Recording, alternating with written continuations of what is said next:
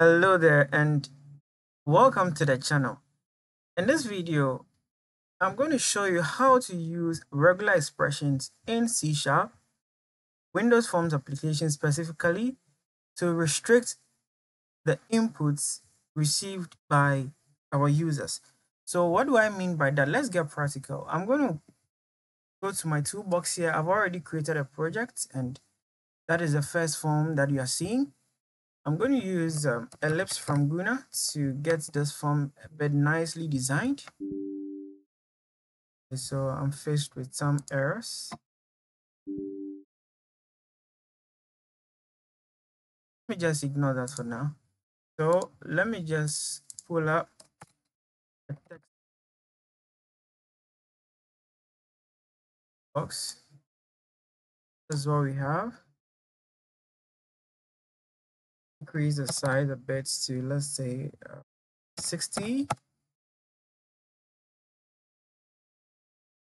probably would have to allow a multi-line something so that we can easily work with it.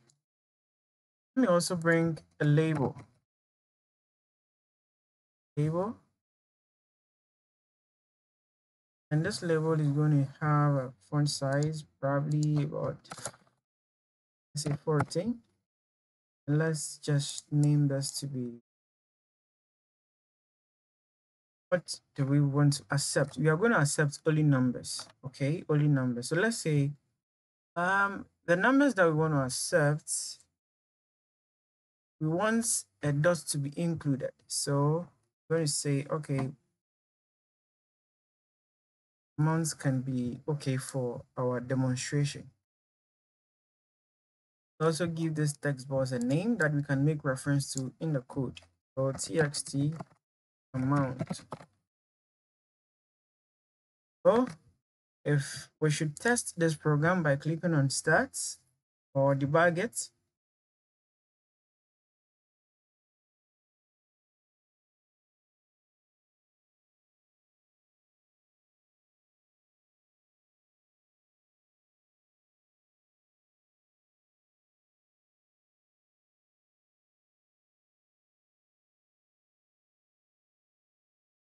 Okay, so this is what we have basically. So we can see that go to input text and even numbers. I think the font size of this form is very small. I mean, for the input box is very small. So what do I do? Come to the font and I'm going to increase this one to let's say four. And I believe with that, we should have something that is appreciable six, seven, and then mixed with what numbers and then dots. Now we only want to restrict this text box to accept something like, okay, maybe 45.7. That's this. And then when we enter any form of character, apart from what the numbers, it's not going to be allowed. So let's go and then see how best we can do that. So with this text box selected, let's come to the events tab here. In our properties, let's come to the event tab. And then let's look for one event called keep press. Press, this one. So it says that KeyPress occurs when a control has focus and the user presses and releases it.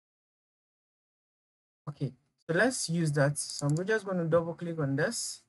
And then it brings me to um, the code or the source code for this particular form. Now, we are going to make use of what? A regular expression what? Class. So we have to define some few variables. I'm just going to say var. Let me increase this one a bit.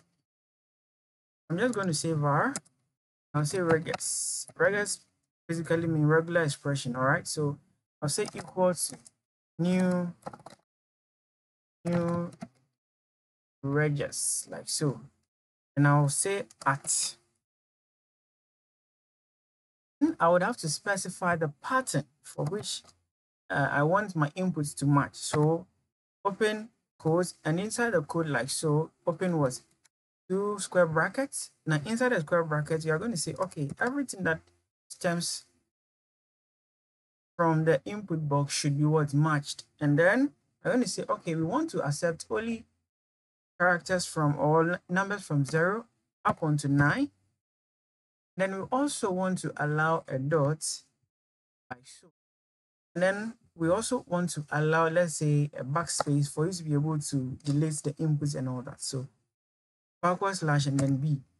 Then you come outside, then you are just going to terminate this. This is complaining of something. Let's just import the namespace for this regular expression. So right click on this yellow ball, I mean the light bulb icon, and then say using system.text, the regular expression. So when you come here, you're going to see it right here. Now we need to perform some few if checks. So I'm going to say that if regex, okay, dot s match match e dot e car to string like so. Then what can we possibly do? So we can say e dot handle. I mean e dot handle then sets this one to true. Now what is going on here? You see there is a key press event which is having um handler to be what e. As this handler here is now going to be able to determine whatever key that was pressed and then we can what perform um, a check on that input or that event with this method here is match and then it's going to compare it against the pattern that you define here. If it is matches then it's going to handle it. If it does not then it will still handle it but it would prevent it from reflecting in the text box. So let's go and test this one out. Start.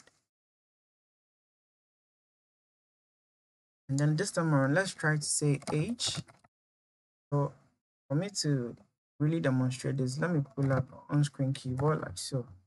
We better see what I'm typing. So focus this, and then when I type, you see, when you type anything that is what alphabet, but it's not allowing. But when I trigger the the dot you could see that it has reflected.